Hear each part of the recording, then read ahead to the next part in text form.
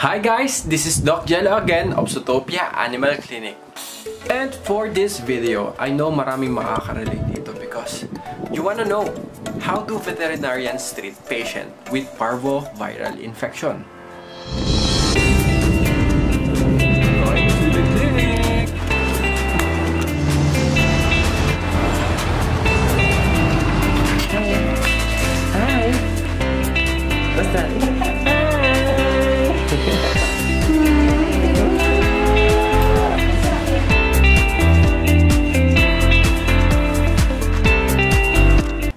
For this video, I will tell you the story of one of my patient. Her name is Bailey, a 3 months old Shih Tzu tested positive for parvovirus, coronavirus, and gastrointestinal worms. So this dog suffered three simultaneous diseases na lahat ng yon ay nakakamatay. And uh, it's a very, very serious case and a life-threatening case. So during the documentation of this case, I don't know whether uh, Bailey will make it or not. But uh, still, tinuloy natin ang documentation at uh, binigay natin lahat ng makakain natin para matulungan siya. And before I start uh, sa story ni Bailey, I will uh, discuss to you a little bit about uh, parvoviral infection and uh, some anatomy about the dogs. So, abangan natin ano. I will show some uh, uh, drawings and uh, I hope maintindihan natin yung nangyayari sa isang aso once magkaroon siya ng viral infection na ito.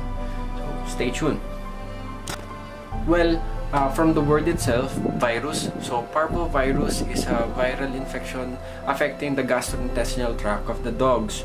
So, it mainly affects the intestines of dogs.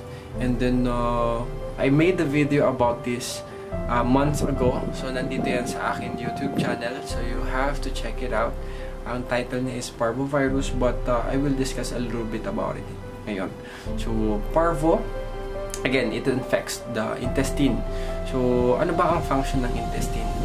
So, before dumating ang ingesta or yung mga na-digest na food, dumadaan muna to sa stomach.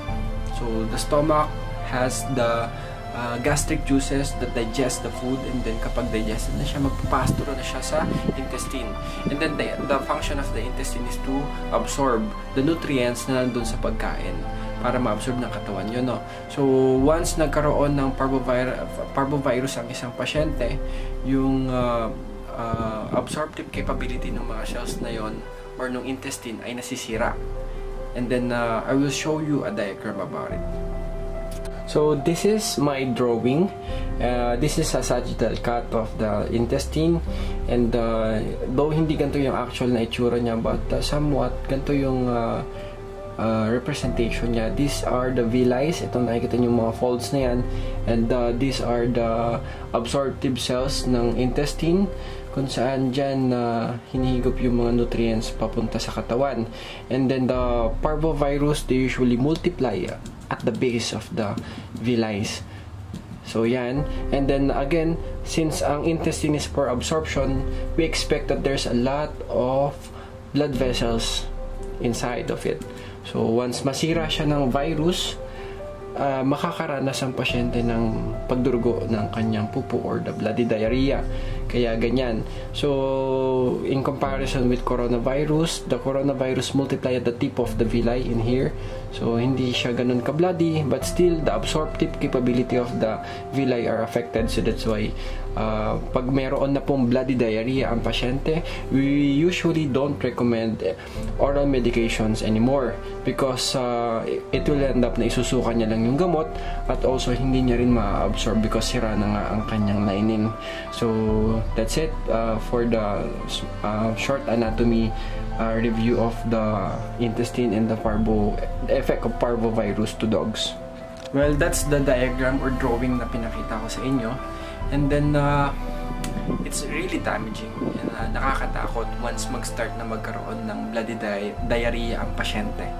So, we have two options here in Zootopia Animal Clinic and for me, uh, I'm the one who decides or the veterinarian will decide whether siya ay uh, mapupunta kung saan mga option between dun sa sasabihin ko. Una, we do outpatient here in Zootopia Animal Clinic. paano nga ba ang classification natin for ano for outpatient? So, when the patient is not yet vomiting excessively or not having a bloody diarrhea, we can uh, still do home remedy. So, the patient usually go here every day for 7 days to take uh, to have antiemetic shots and also antibiotic shots. But may mga gamot din siyang iti-take sa bahay Whereas kasama niya yung owner at yung owner ang magbibigay. The rehydration and the food intake, yung owner talaga. It's all about TLC. Because you know, in uh, outpatient, uh, chances of survival is very high because uh, kapag kasama yung owner, mas maganda ang pakiramdam ng mga dogs. They usually release uh, endorphins, which is the happy hormones, and then it helps the dog boost the immune system in the fight of the disease. And also, syempre, kapag ka ganun ng classification, detected na maaga yung sakit. Kaya, mas maganda ang response ng pasyente. But, uh, the second uh, option we have here is to confinement. So, yun ang din, uh, dinanas ni Bailey dito. So, Bailey, nung presented siya, Bailey has uh, bloody diarrhea and excessive na ang kanyang vomiting. So, that's why we decided na siya i-confine. So, in confinement, there's a lot of things to do. And then, uh, furthermore, I will discuss maya-maya kung ano yung mga bagay na ginagawa natin to help the patient and kung ano yung mga nare-receive niya while being confined here in the clinic. So, for confinement, what we do first is we put an IV fluid sa pasyente para lahat ng gamot niya ay dadaan na sa kanyang ugat at hindi na dadaan sa kanyang bibig. Gaya ng diniscuss ko kanina, once mag-start ang blood diarrhea ng pasyente, it means na ang kanyang intestine ay nasisira na therefore uh, absorption ng kahit na anong isinusubo niya ay medyo apektado na rin. So that's why mahalagang direkta na mapunta sa ugat niya ang kanyang mga gamot and also ma-rehydrate ang pasyente because of the ongoing fluid losses niya through vomiting and diarrhea. Second, we do with the patient, we give antibiotics. It's very important na magbigay ng antibiotic because um, during this uh, time na mayroong viral infection ng pasyente, opportunistic ang mga bacteria. So, septicemia ay uh, very likely na mangyari. So, that's why we have to give antibiotics to prevent na dumami ang bacteria sa kanyang katawan. Third, we give antiemetic. So again, patients with parvovirus or even corona, they tend to vomit very frequently. So uh, alarming yun. So that's why we really have to give antiemetic. So fourth, uh, we give H2 inhibitor. So again, these patients, they don't eat anymore. So, yung acid accumulation and the chances na magkaroon ng ulceration sa niya is very high. So, that's why you have to give H2 inhibitor. What it does, it's it closes down yung production ng acid sa tiyan during mga time na wala siyang laman. During time walang laman ang tiyan niya. So, okay lang kahit hindi siya kumain ng ilang araw while being confined here. And then, uh, fifth, we give uh, supplementations here in the clinic. Napakaraming klaseng supplements na binibigay from blood-forming supplements to electrolytes to multivitamins to amino acids and everything, B complexes and all.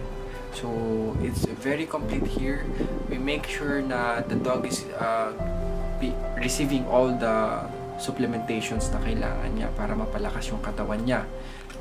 Six, uh, most of the clinics have this but uh, this is optional because it's a little bit expensive so it's what we call Kanglog P so it's an external antibody so ang antibody po kasi ay napoproduce sa katawan ng dog once uh, sila ay uh, nagkaroon ng infection. So it's the one that is fighting the virus.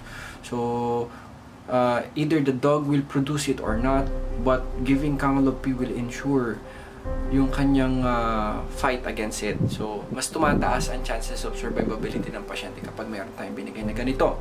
And uh, ikapito, uh, meron pang uh, lumalabas na product nowadays. One example is the Viocid. And uh, I've tried it a couple of times with some of my patients and uh, uh, very effective ito and uh, it helps the patient to fight the disease. And uh, in the previous cases that we have, it's uh, very, very effective. So, for the case of Bailey, for example, uh, everything, it was being given. Uh, meron pa pala tayong ikawalong gamot na nakalimutan. Uh, ang ikawalong gamot na binibigay namin dito ay ang immune modulator. So, we use immune modulator to help the patient increase the immune system status niya. So, with this, again, uh, for the case of Bailey, the owner is uh, very, very willing to everything just to make sure na maligtas si Bailey. So, we give everything na nabanggit ko. Yung walong yon, I will repeat that. Again, number one, we give uh, rehydration to IV fluids. Uh, number two, we give antibiotics. Number three, we give antiemetic. Number four, we give H2 inhibitor. Number five, we give supplements. Number six, we give Kangalog P or the antibody. And then seven, we give the Viocid. And then uh, eight, at last, we give the immune modulator. So these are the eight uh, this is the eight uh, medications na binibigay natin dito sa clinic.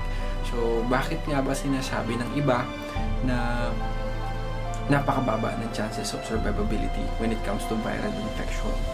Again guys, I have to clear this up to all of you that uh, viral infection has no has no medication for it.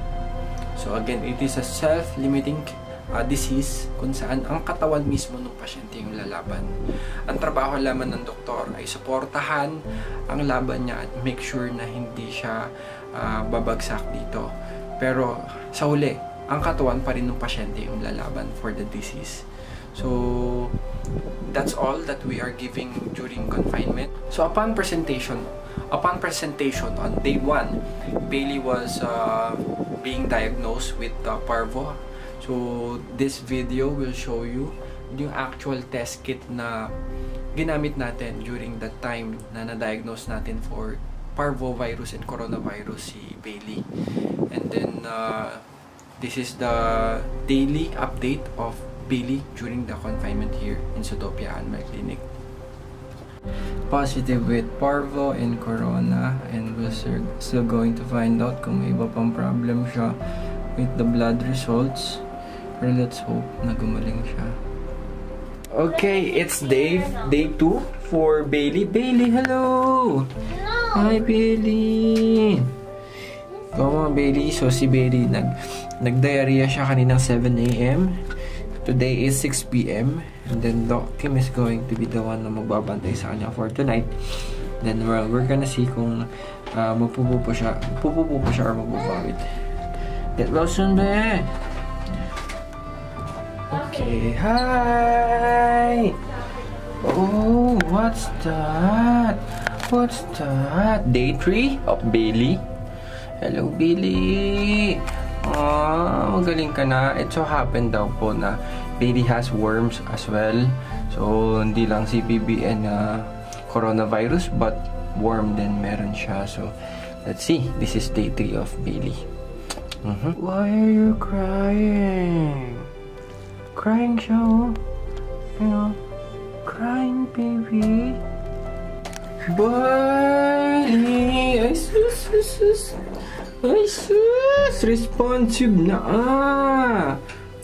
Parang di nagka-parbo yan, ah. Ay, sus, ay, sus. Nakain mo yung kamay ko. Ano? Yan, ikaw. Kailan daw siya uwi? Hi! Fifth day niya ngayon, ah. Fifth day? Apo. Wala, makulit ka na. Ano na? Hi!